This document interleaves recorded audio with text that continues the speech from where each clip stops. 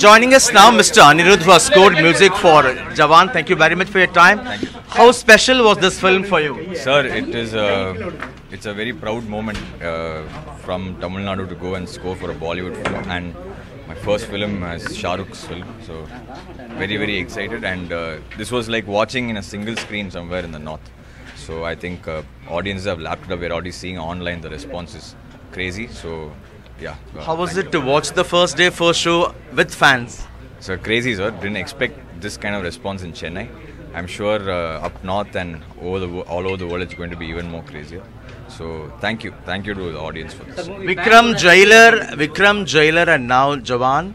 Uh, how does it feel to see many South Indian films from Tamil Nadu in particular going pan India now? So I think today's day and age we are in, we are very lucky, sir, because uh, there's no language barrier. I think we are in. I think even for me as a musician, I think being uh, in mu- in music right now is the best time to be. It's a golden period. And yes, Vikram Jailer and Jawan now continuously.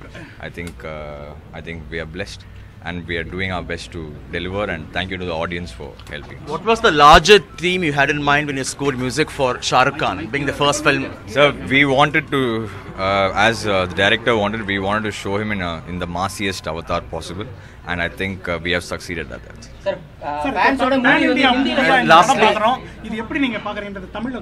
was it was it any different? Was it any different scoring for a Hindi film from Tamil and South Indian languages? Yes, sir. Obviously, a little bit, sir. Uh, I think the nativity alone we have to catch. We did a lot of homework for that.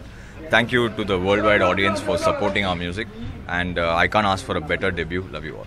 Lastly, very young, such a young musician you are, people love you so much, and at a very young age, you have reached great heights. How does it does it add to your pressure now when you score music for new films like this? So I think when we uh, look at all the legends, we all, they always, however, uh, whatever heights they reach, they keep their foot on the ground. Uh, so that's what we're trying to do, and uh, as long as we keep uh, we be, we stay humble and do our work, I think success will follow. So. Thank you so much uh, for your time, um, Anirudh. That was Mr. Anirudh talking to us in Chennai with Suresh, Sam Daniel, NDTV.